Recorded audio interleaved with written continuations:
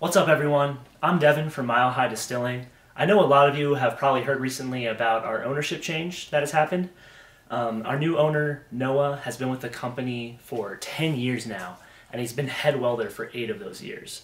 Some of you probably know him, have spoken to him before, so really nothing is going to be changing as far as the quality of our stills. It's going to be the same quality that we've been given to you guys for the past 20 years.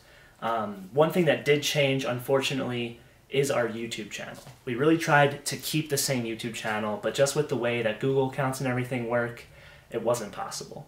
So we had to make a new one.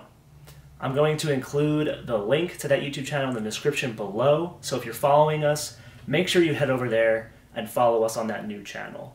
We're going to be a lot more active on that channel, so really make sure you go over there and follow us. We're going to be doing assembly videos, informational videos, just general knowledge about distilling kind of videos, um, all kinds of stuff. We're going to be doing videos like once a week probably. It's going to be a lot more active, and it's going to be awesome.